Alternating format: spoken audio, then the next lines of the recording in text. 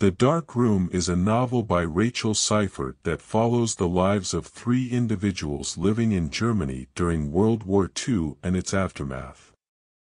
The book is divided into three parts, each focusing on a different character.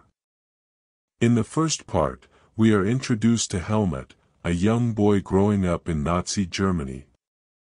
Helmut is raised by his mother and grandfather, both of whom are loyal members of the Nazi Party. Despite his mother's attempts to shield him from the horrors of war, Helmut becomes aware of the atrocities committed by the Nazi regime and struggles with feelings of guilt and responsibility.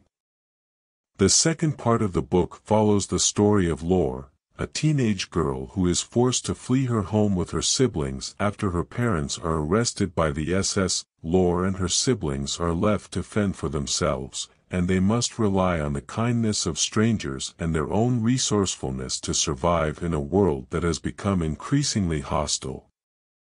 The final part of the book is narrated by Mika, a young man who was orphaned during the war and is now living in post-war Germany.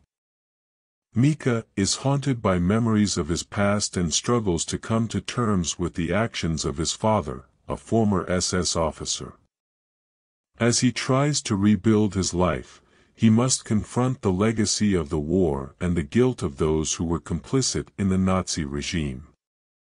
Throughout the book, the lives of these three characters intersect and overlap, and the reader is left to ponder the lasting effects of war and trauma on individual lives and on society as a whole. The Dark Room is a poignant and thought-provoking exploration of the human cost of war and the enduring power of memory.